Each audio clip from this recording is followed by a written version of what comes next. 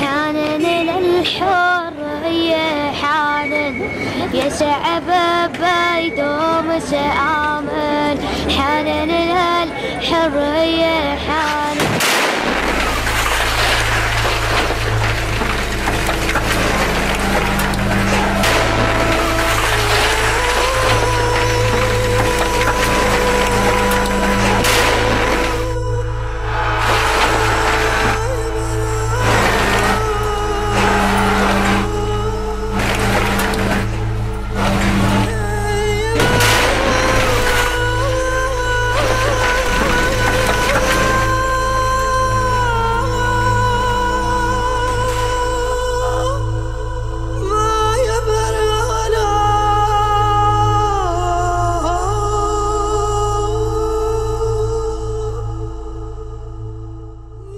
Savaş yüz binlerce can aldı.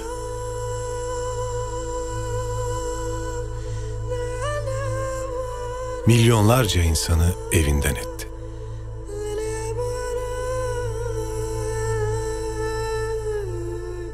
Çocuklar öldü, oyuncaklar kırıldı.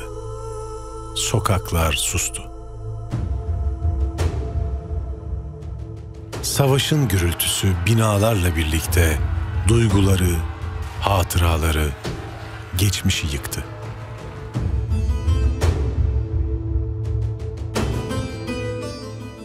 Sebep olduğu feryat kulakları sağır etti.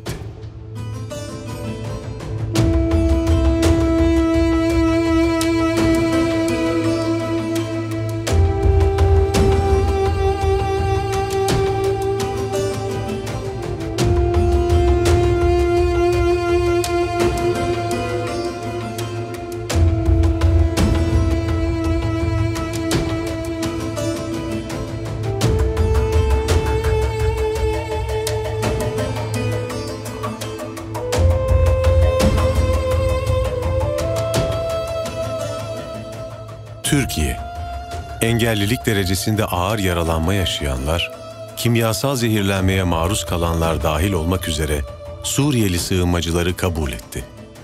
Sığınmacıların sağlık ve temel yaşam ihtiyaçlarını karşıladı.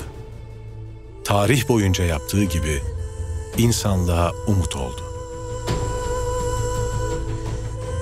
Türkiye, savaş mağduru sığınmacılara din, dil, ırk ayrımı gözetmeden kapılarını açtı ve geçici koruma statüsü vererek sığınmacıların başta sağlık hizmetleri olmak üzere tüm hizmetlerden faydalanabilmelerinin yolunu açtı.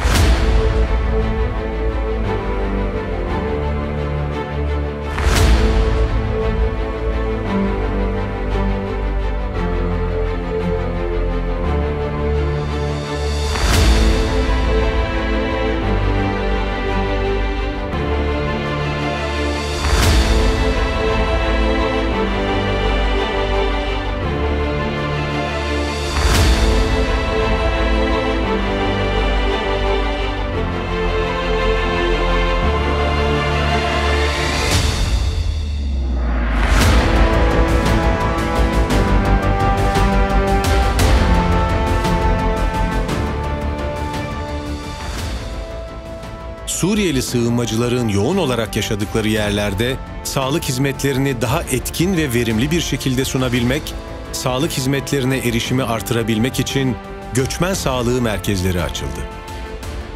Buralarda dil ve kültür farkından kaynaklanan sorunları aşabilmek adına Dünya Sağlık Örgütü işbirliği ile uyum eğitimi alan, Türkçe ve Arapça bilen hasta yönlendirme elemanlarıyla Suriyeli sağlık personeli istihdam edildi. Suriyeli göçmen sayısının yoğun olarak bulunduğu yerlerde birinci basamak sağlık hizmetlerine ilave olarak dahiliye, çocuk sağlığı ve hastalıkları, kadın hastalıkları ve doğum, ağız diş sağlığı alanlarında hizmet sunan ve psikososyal destek sağlayan güçlendirilmiş göçmen sağlığı merkezi uygulaması geliştirildi.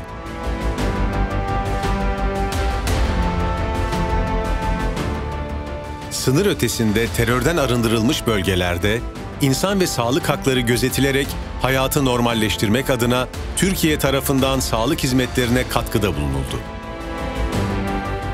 Afrin, Azez, Elbap, Cerablus, Çobanbey ve Mare ile çevresindeki yerleşim yerlerinde nitelikli sağlık hizmeti sunulabilmesi için hastaneler ve sağlık merkezleri açıldı, personel istihdamı sağlandı.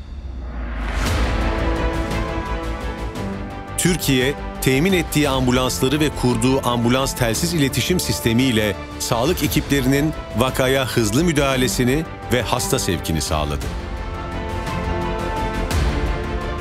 Mare Hastanesi'nde uzmanlarımız tarafından tıp fakültesi öğrencilerine teorik ve pratik eğitimler verildi. Türkiye Cumhuriyeti Sağlık Bakanlığı tarafından Suriyeli sığınmacılara poliklinik, yatarak tedavi, doğum, acil sağlık ve ameliyathane hizmetleri verildi. Suriyeli bebek ve çocuklar Türkiye'nin ulusal aşı takvimine göre aşılandı. Bulaşıcı hastalıklar yönünden taramalar yapıldı. Bu çalışmalar hem Türkiye hem de dünya vatandaşlarını karşılaşılması muhtemel bir salgına karşı korumak adına yürütülen büyük bir mücadele örneği oldu. Türkiye, milli gelirine göre tüm dünyada en fazla insani yardım yapan ülke konumuna geldi. Türkiye Cumhuriyeti Sağlık Bakanlığı olarak sağlık yardımlarımızla Suriyeli sığınmacılara umut olmaya devam ediyoruz. Biz Türkiye olarak mazlumlar için sıcak bir yuva, yüzlerde tebessüm, gözlerde ışık olabilmek amacıyla hız kesmeden çalışıyoruz. Güvenli ve sağlıklı yaşam herkesin hakkıdır. Türkiye Cumhuriyeti Sağlık Bakanlığı